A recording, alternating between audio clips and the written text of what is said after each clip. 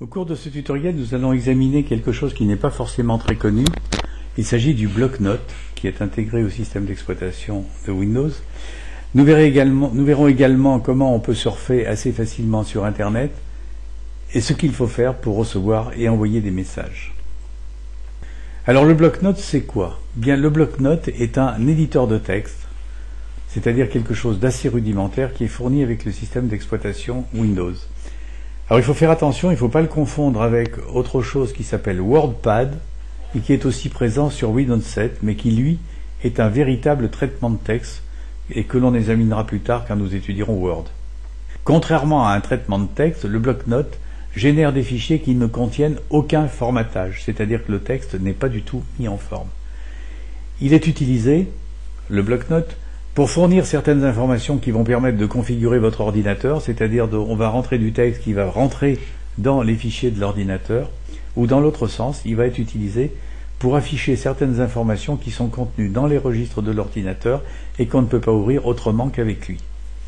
il permet aussi d'afficher le code source d'une page web. Alors le code source d'une page web, c'est le code avec lequel la page a été écrite.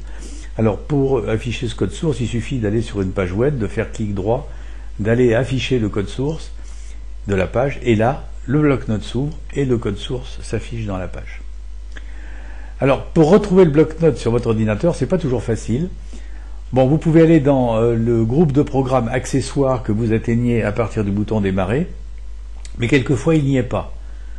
Alors pour le trouver dans ce cas-là, il faut aller chercher un peu plus loin dans les registres et dans euh, le système d'exploitation. Alors on fait dans ce cas-là la chose suivante. Vous cliquez sur le bouton démarrer. Vous ouvrez le navigateur. Vous voyez ici, vous avez le disque dur. Donc vous allez sur votre disque dur, vous ouvrez, le disque dur. Parmi les programmes et les fichiers, les dossiers qui apparaissent, vous avez un dossier qui s'appelle Windows. Vous cliquez dessus. Quand vous avez ouvert euh, le dossier Windows, il y a des sous-dossiers. Vous en avez un qui s'appelle Système 32 voyez Système 32. Et quand vous avez ouvert le fichier Système 32, ben vous recherchez là-dedans quelque chose qui va s'appeler non pas bloc-notes, mais qui va s'appeler Notepad. Vous trouvez ici donc le fichier Notepad avec, un, avec l'icône qui ressemble à un petit carnet. Et là, si vous cliquez dessus, vous allez l'ouvrir, mais il vaut mieux, à ce moment-là, vous faites un clic droit dessus, vous faites envoyer vers, vous choisissez le bureau, et ainsi vous aurez créé un raccourci du bloc-notes sur le bureau et vous pourrez l'ouvrir très facilement après sans être obligé de revenir ici, de chercher dans ces fichiers. Bon voilà, donc je fais clic droit, envoyer le raccourci vers le bureau. Et je referme. Bien, voilà comment on ouvre le bloc-notes. Alors le bloc-notes peut être utilisé pour taper du texte, c'est-à-dire qu'on tape du texte dedans de manière très libre, et ce texte, on pourra l'imprimer, on peut le copier, on peut le, le coller sur un autre logiciel. Il y a un élément nouveau maintenant qui existe depuis Windows 7 et qui permet, grâce au bloc-notes, de créer ce qu'on appelle un fichier journal. Un fichier journal, c'est quelque chose dans lequel les, éléments qu'on va taper vont s'inscrire les uns après les autres et on va afficher automatiquement la date et l'heure à laquelle ces événements ont été inscrits sur le, bloc-notes. Alors, voilà comment ça se passe. Alors pour faire ça, il faut ouvrir le bloc-notes. Donc on va aller sur l'icône que l'on a mis sur le bureau, on ouvre le bloc-notes. Alors vous voyez là, je peux taper du texte. je peux taper du texte. Ceci est mon premier texte. J'ai fait une petite faute ici. Voilà, ceci est mon premier texte, etc., etc.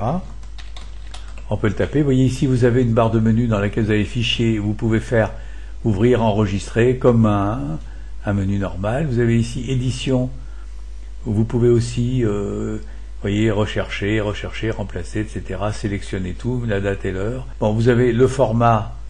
Alors la seule chose qui vous est possible, c'est retour automatique à la ligne. C'est-à-dire quand vous arrivez au bout de, la fenêtre, si vous cochez, il y aura un retour automatique à la ligne. Si c'est pas coché, eh bien votre texte va déborder, va aller de très très loin, il s'arrêtera pas. Et puis vous avez l'affichage de la barre d'état et avec ça, donc vous voyez, il n'y a pas grand chose à faire. Voilà, ça c'est euh, le, bloc-notes tel que. Alors je vous parlais pour euh, créer un fichier journal. Eh bien pour créer un fichier journal, il y a une chose à faire. Alors je vais effacer, supprimer ce que j'ai mis là. Il faut taper sur la première ligne, log, en respectant la case, c'est-à-dire log avec log en majuscule. Vous faites entrer pour aller à la ligne, et là vous tapez votre texte. Voilà. Et quand vous aurez fini de taper votre texte, vous enregistrez par fichier enregistré, vous enregistrez quelque part. Ben, quand votre fichier est enregistré, vous le retrouverez un peu plus tard à l'endroit où vous l'avez installé. Pour vous montrer ça, j'ai fait un petit quelque chose, c'est-à-dire que quand nous avons eu notre première séance de cours, j'ai tapé un petit texte en utilisant le bloc-notes. Vous voyez, j'ai tapé .log, j'ai mis mon premier texte. Aujourd'hui, ce fut le premier jour de formation, etc., etc. J'ai enregistré. Quand j'ai réouvert ce fichier, eh bien, j'ai vu que la date à laquelle j'avais tapé le texte était affichée. C'était le 18 avril et il était 12h22. J'ai tapé le deuxième jour mon nouveau texte.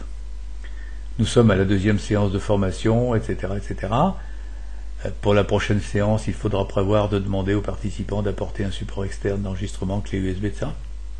Quand j'ai réouvert ce dossier, ce fichier, eh ben, je me suis aperçu, vous voyez qu'ici, j'avais la date et l'heure de marquer à laquelle j'avais tapé ce deuxième texte, c'était le 13, c'était le 22 avril et il était 13h28.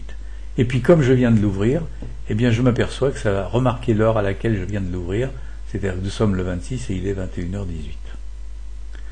Voilà. Alors maintenant, si j'enregistre, je vais enregistrer, je ferme. Quand je vais le réouvrir, eh bien, je vais retrouver la liste de tout ça. Alors, vous voyez, ça peut permettre de créer une liste chronologique d'événements et que vous pourrez retrouver parce que la date s'affichera automatiquement. Voilà, c'était le bloc-notes. Maintenant, on va regarder comment on fait pour accéder au web. Pour accéder sur le web. Alors, il n'est pas question ici de faire un cours sur Internet, ça demanderait beaucoup de temps. On va simplement euh, survoler un petit peu ça et voir comment on fait pour accéder euh, au web. Alors, bien entendu, il faut quatre éléments nécessaires. D'abord, avoir un ordinateur ou un smartphone ou une tablette, puisque Aujourd'hui, les smartphones et les tablettes sont connectables. Il faut disposer d'un logiciel adapté, ce qu'on appelle un navigateur. On dit aussi un browser en anglais, ça veut dire navigateur. Il faut disposer d'un modem. Alors un modem, c'est un appareil qui va permettre de se connecter via le réseau téléphonique euh, au réseau Internet. Alors ce modem, ça peut être une box. Hein. Aujourd'hui, tout le monde a une box. Et puis il faut avoir souscrit un abonnement à un fournisseur d'accès. Voilà, ces quatre éléments sont indispensables. Alors, la première chose à faire, ça c'est quand on est chez soi. La première chose à faire euh, quand on installe son ordinateur, bien entendu, ou quand on vous installe la, la box, c'est de connecter votre ordinateur au modem ou à la box. Alors cette connexion peut être faite de trois manières différentes, soit avec un câble qui relie directement la box à votre ordinateur, alors c'est la méthode la plus simple, celle qui ne demande aucun paramétrage, ça marche tout seul, pratiquement. Elle peut être faite au moyen d'un câble, au moyen euh, d'une liaison radio, c'est-à-dire d'un système Wi-Fi. Et là, on va vous demander un peu de paramétrage parce que n'importe qui qui passe à proximité euh, de, votre habitation pourrait se connecter sur votre box. Donc, on va prendre quelques précautions. On vous demandera un code d'accès. Le code d'accès, ça sera le numéro de la box qu'on appelle la clé web. Quand vous allez ouvrir votre ordinateur, vous recherchez les connexions Wi-Fi qui sont euh, dans la, qui sont dans la barre des tâches ici. Il suffira de, cliquer là-dessus. Vous voyez, on vous donne les, les connexions auxquelles vous avez accès. Vous choisissez la connexion qui vous intéresse et vous faites OK. Et là, pour vous connecter, on va vous demander le numéro de clé web de votre box. Et puis, la dernière solution, c'est d'utiliser ce qu'on appelle un, CPL, des plugs exactement. C'est-à-dire que vous mettez à proximité de la box un petit appareil sur une prise électrique, lequel lui est relié à la box par un câble. Ensuite, vous mettez un deuxième CPL n'importe où dans votre, dans votre maison, enfin pratiquement n'importe où, et vous connectez votre ordinateur dessus, toujours en utilisant un câble, et c'est le réseau électrique qui va servir à transporter le signal de la box à votre ordinateur. Donc, trois connexions. Ensuite, quand vous êtes connecté à Internet, eh bien, il faut que vous utilisiez un navigateur. Et le choix du navigateur n'est pas forcément évident. Le navigateur que vous allez choisir bah, devra être un peu en conformité à ce que vous attendez de, de votre navigation sur Internet. Alors, d'office, vous avez, quand vous avez euh, Windows sur votre ordinateur, vous avez Internet Explorer, qui est le navigateur de Windows, qui est installé d'office sur votre système d'exploitation. Alors vous, vous pouvez tout à fait l'utiliser et il marche bien. Voilà, mais il en existe d'autres. Il en existe beaucoup d'autres. Alors il y en a cinq qui sont les cinq grands, on va dire. Hein, ce sont donc Internet Explorer, Firefox, Opera, Safari et Google Chrome. Bien. Pour notre formation, ben, il, fallait en choisir un. Ben, nous avons choisi Google Chrome.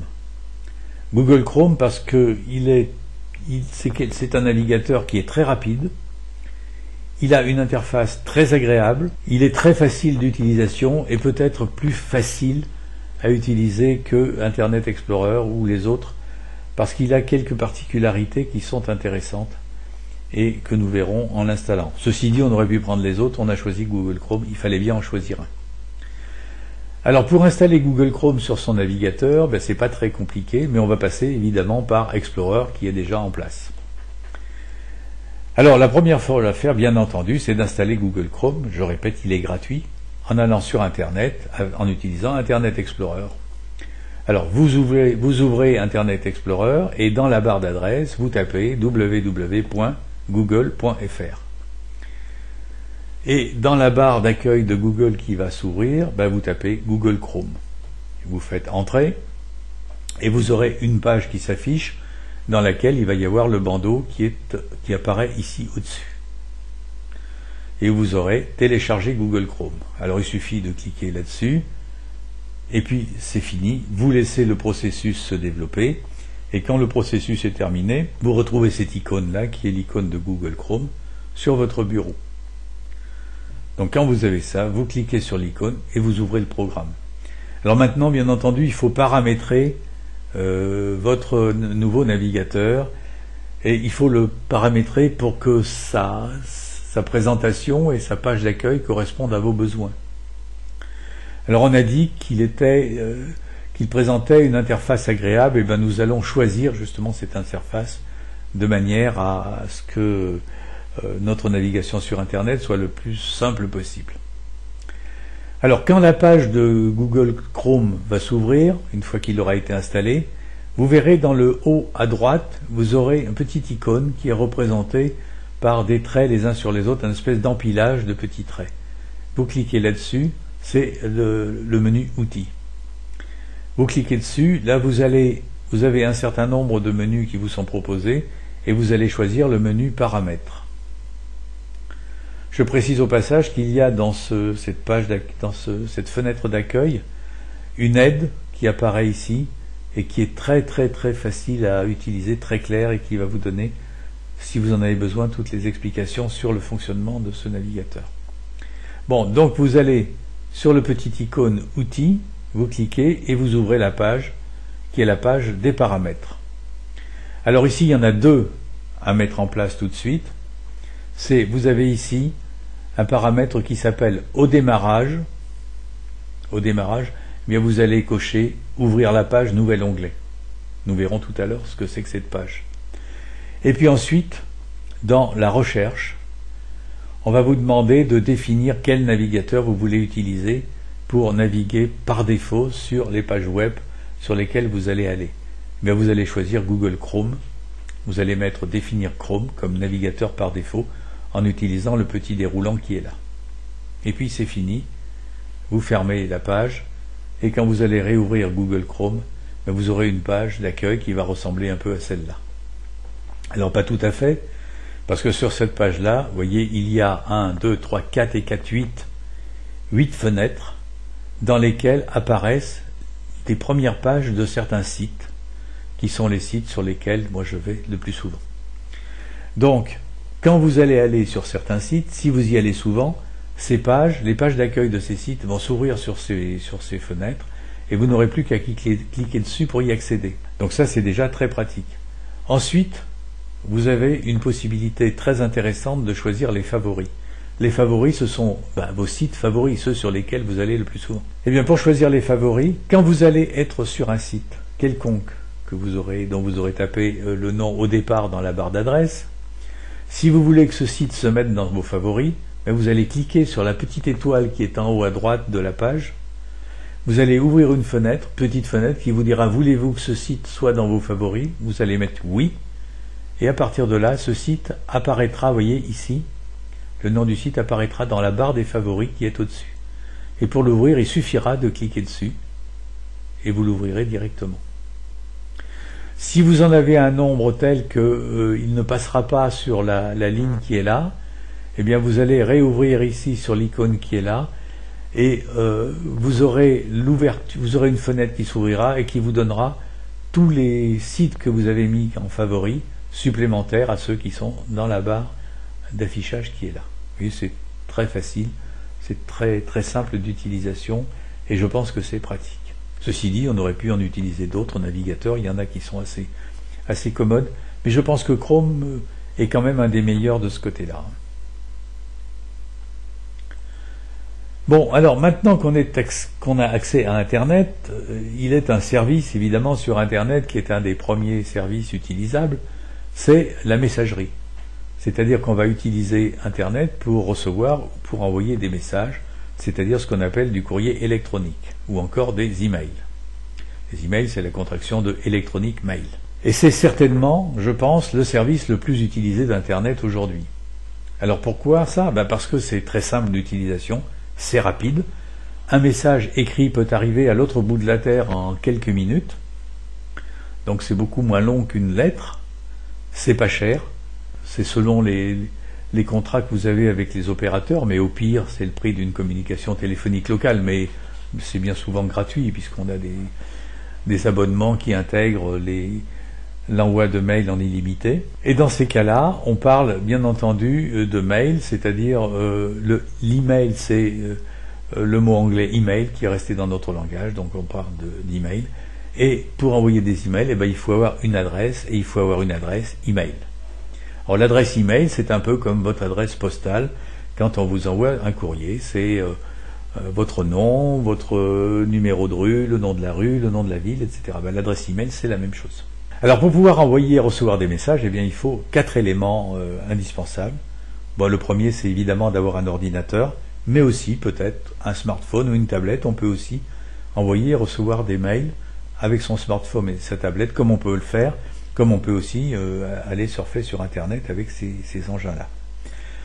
Il faut bien sûr disposer d'un accès Internet, et il faut, en plus, alors cette fois-ci, s'être créé un compte de messagerie, soit auprès de son opérateur, c'est-à-dire du fournisseur de celui qui vous a fourni le modem, autrement dit la box, ou vous pouvez aussi aller ailleurs, et il y a de très nombreux fournisseurs, il y en a qui sont très connus, comme Google, Gmail, qui, qui est un produit Google, très connus. Puis il y en a d'autres qui sont un peu plus exotiques, qu'on ne connaît pas, mais il y en a des, dizaines et des dizaines. Certains sont payants, il y en a qui sont gratuits. Bon, c'est à, vous, c'est à vous de voir, mais il y en a beaucoup de gratuits. Alors, maintenant, quand on a souscrit à un compte de messagerie, quand on a une adresse email qui a été validée, euh, cette adresse va permettre à d'autres titulaires de compte, quel que soit l'opérateur d'ailleurs, de vous transmettre des messages et vous allez pouvoir vous aussi en envoyer à tous ceux qui seront connectés, à tous ceux qui auront un compte de messagerie. Ce service, ça s'appelle bien entendu la messagerie. Alors, on va voir maintenant comment ce service est présenté par l'opérateur Orange. Vous avez une offre Internet Orange, vous avez donc une ou plusieurs adresses mail. Pour consulter et envoyer des messages, vous utilisez soit un logiciel de messagerie tel que Outlook Express, installé sur un ordinateur, soit la messagerie en ligne sur orange.fr. Vous pouvez aussi bien sûr combiner les deux en fonction de la situation et de vos besoins. Pour consulter vos messages depuis orange.fr, rien de plus simple. Une fois identifié, vous avez accès directement à votre boîte aux lettres depuis n'importe quel ordinateur. Vous n'avez aucune configuration ou paramétrage à faire. Vous pouvez consulter vos messages, y répondre, en créer et en envoyer de nouveaux. Et cela que vous ayez une ou plusieurs boîtes aux lettres. Les messages ne sont pas enregistrés sur votre ordinateur mais restent sur les serveurs Orange. Ils vous suivent ainsi au gré de vos usages. En revanche, si vous décidez d'utiliser un logiciel de messagerie, une partie de la gestion de vos messages sera attachée à l'ordinateur sur lequel vous aurez installé le logiciel. Vous devrez tout d'abord configurer le logiciel pour qu'il reçoive les messages de votre ou de vos boîtes aux lettres. Vous pourrez ensuite gérer vos messages depuis votre ordinateur. En cliquant sur Envoyer recevoir, vous relevez le courrier de votre boîte aux lettres Orange. Par défaut, tous les messages sont transférés depuis les serveurs Orange sur votre ordinateur, ce qui est très pratique pour les archiver. Ne vous inquiétez donc pas si vous ne les retrouvez plus sur orange.fr. En les enregistrant sur votre ordinateur, ils ont été effacés des serveurs Orange. Vous avez bien sûr la possibilité de combiner les deux usages. Vous pouvez depuis chez vous utiliser un logiciel de messagerie pour conserver l'ensemble de vos messages sur votre ordinateur. En même temps, en déplacement ou au bureau, vous retrouverez sur orange.fr tous les messages reçus depuis la dernière relève effectuée chez vous. Un dernier conseil. Si vous consultez vos messages uniquement depuis orange.fr, pensez à faire régulièrement le tri en effaçant ceux dont vous n'avez plus l'utilité pour éviter de saturer votre boîte aux lettres. Voilà, maintenant vous savez comment utiliser votre messagerie où que vous soyez. Voilà, alors comme vient de le dire la présentatrice, pour accéder à vos mails, vous avez deux types de possibilités. Soit utiliser le serveur en ligne de votre opérateur, auquel vous accédez avec votre navigateur, soit d'utiliser un logiciel de messagerie. Alors dans le premier cas, les opérations effectuées sur vos messages, elles resteront sur, le serveur de l'opérateur, sont toujours possibles. Bon, c'est pas toujours très simple à faire, hein, c'est souvent même un petit peu compliqué, surtout si par exemple vous recevez des pièces qui sont jointes à votre message ou si vous voulez transférer des documents avec un message. C'est pas toujours très évident. Alors, il existe aujourd'hui, comme elle l'a dit, de très nombreux logiciels de messagerie performants et d'utilisation facile qui vous permettent de rapatrier directement vos mails sur votre PC de manière à les exploiter. Alors, ces logiciels, il y en a qu'on connaît, on les connaît beaucoup. Je pense à Outlook Express, elle en a parlé. Je pense à Windows Mail, tous les deux qui sont fournis avec Windows. Ce sont certainement les plus utilisés. Il y a Windows Live Mail qui devrait bientôt succéder à Outlook. Et puis il y en a d'autres. Il y a Opera 9 qui est intégré dans le navigateur Opera. Et alors pour ceux qui utilisent Opera, il n'y a pas de téléchargement à faire, mais l'interface est un petit peu compliquée, un peu chargée. Et puis il y en a un autre, il y a Incredit Mail, qui de mon point de vue est le plus agréable par ses aspects esthétiques, ludiques et son notificateur, et aussi par ses possibilités diverses dans de nombreux domaines. Alors il y en a d'autres, voyez, ils sont cités là, Pegasus Mail, The Byte, Foxmail, Postbox, Gaston, Dreammail, Berkey, Mail Warrior, etc., etc. Il y en a des quantités. Bon, nous, nous allons, et je vous le conseille, utiliser Incredimail, pour les raisons que je viens de dire. Alors comment fait-on pour utiliser Incredimail? Alors quelle que soit la messagerie que vous allez utiliser chez vous, alors vous avez bien compris ce qu'a dit l'opératrice tout à l'heure, elle a dit si vous utilisez le serveur de, l'opérateur pour aller lire vos mails ou pour les envoyer, donc ces documents vont rester sur le serveur, ils ne seront pas chez vous. C'est-à-dire que pour y accéder, il faudra obligatoirement être connecté, et puis il faudra aller sur le serveur pour les enlever, pour faire un certain nombre de choses. Par contre, si vous avez, elle vous l'a dit, si vous avez un logiciel de messagerie, alors tel que Incredit, eh bien, ces messages vont être rapatriés depuis le serveur de l'opérateur sur votre ordinateur. Quand vous les aurez rapatriés, ils ne seront plus sur le serveur de l'opérateur, mais ils seront chez vous, sur votre ordinateur, et là, vous pourrez en disposer à votre gré. Vous pourrez les enregistrer, vous pourrez faire tout ce que vous voulez. C'est quand même, de mon point de vue, plus pratique. D'autant que rien ne vous empêche, si vous n'êtes pas chez vous et si vous êtes à l'extérieur avec un accès Internet, vous pourrez toujours aller consulter les messages sur le serveur de l'opérateur, à condition bien entendu de vous souvenir du mot de passe, parce qu'on va vous demander, pour vous connecter, à chaque fois on vous demandera un mot de passe. Par contre, sur votre logiciel de messagerie chez vous, bah, vous n'aurez rien à faire, il suffira de le rentrer une première fois et après votre ordinateur téléchargera directement l'ensemble des messages qui seront sur le serveur. Alors à vous de choisir, moi je conseille de faire les deux, et puis d'avoir un logiciel de messagerie qui soit agréable à regarder bah, comme InCredit. Alors pour télécharger InCredit, bah, vous allez dans Google et vous tapez InCredit Mail. Et vous, rentrez sur une page qui est la page suivante que vous, voyez ici. Et puis comme Google tout à l'heure, ben vous allez euh, télécharger ce, logiciel. vous choisissez le langage. D'abord, vous voyez ici Choose your language. Alors il y a français là-dedans, vous choisissez français et vous mettez télécharger. Vous suivez les instructions qui apparaissent pendant que vous téléchargez. Et quand vous avez terminé, vous avez cette icône-là avec une enveloppe rouge qui apparaît sur votre bureau. Vous ouvrez cette, euh, cette page, vous, ouvrez, vous cliquez sur cette icône et vous ouvrez la page qui va vous permettre de paramétrer votre euh, logiciel de messagerie parce que bien entendu il faut le paramétrer. Alors cette page elle est très simple. Euh, voici les, informations qui vous sont demandées. Alors on va vous demander, voyez, on va vous demander, il y a trois, trois volets qui sont là. Hein, il y a général, serveur et avancé. Donc on va rester sur le général. On va vous demander le nom du compte. Alors le nom du compte, eh ben, ça sera le nom de votre opérateur. Hein, si c'est Orange, ce sera orange.fr et puis sur les autres. Ces, paramètres vous ont tous été fournis par votre fournisseur d'accès.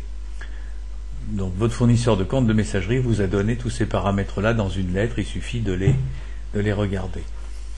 Alors ensuite, on va vous demander euh, le nom d'affichage, bah, ça c'est vous qui allez le mettre. Votre adresse électronique, bah, c'est celle que vous aurez créée avec euh, le fournisseur. Ensuite, vous allez passer au, volet serveur. On va vous demander encore d'autres informations et en particulier le mot de passe qui vous aura été donné par votre fournisseur. Et quand vous aurez fini ça, vous ferez OK. Et puis c'est terminé. Une fois que ces paramètres seront euh, mis en place, eh bien, votre système de messagerie va fonctionner et vous pourrez ouvrir les pages d'accueil d'Incredit, de, puisque c'est Incredit dont il s'agit. Alors la page d'accueil d'Incredit, elle est claire, elle est facile à comprendre. Bon, elle est très ludique. Hein. Vous avez euh, en haut des barres de menu, vous avez euh, à gauche euh, les documents reçus, les documents envoyés, les documents en cours, etc. Vous verrez, c'est assez facile. Et vous avez quelque chose qui est très très intéressant aussi, ce sont les, ce qu'on appelle les notificateurs, c'est-à-dire que contrairement aux autres euh, logiciels de messagerie euh, qui en sont dépourvus, Incredimail regorge de notificateurs amusants. Alors, les notificateurs, ce sont des petites choses qui vont apparaître sur votre écran quand vous aurez un message. C'est-à-dire qu'on va, vous aurez tout de suite quelque chose qui viendra que vous pouvez enlever, hein. vous pouvez les modifier, vous pouvez les interdire, vous pouvez faire ce que vous voulez. Mais on vous dira ah vous avez un message qui est arrivé sans que vous ayez à faire quoi que ce soit sur votre ordinateur. Vous n'avez pas besoin d'aller dans votre messagerie. Le, notificateur va apparaître sur votre écran et vous dira vous avez reçu un message. Alors maintenant, libre à vous d'aller le chercher ou pas, d'aller le lire. Mais vous saurez que vous avez un message en attente quand vous aurez vu le notificateur. Je n'ai pas vu chez les autres euh, logiciels de, notificateurs aussi intéressants que cela.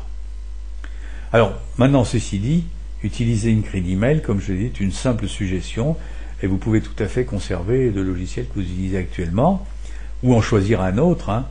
Ah, mais là, pour vous présenter quelque chose, il fallait en choisir un. Eh bien, on a choisi une crédit mail pour son aspect esthétique.